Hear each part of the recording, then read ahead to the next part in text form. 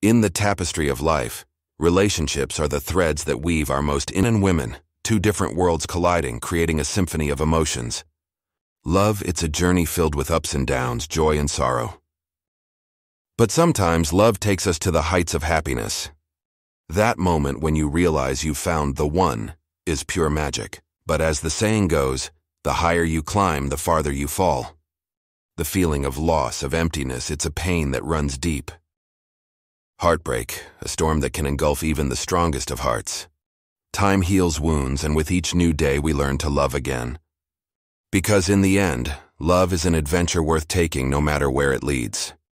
So, cherish the moments, embrace the journey, and remember that love, with all its complexities, is what makes life truly beautiful.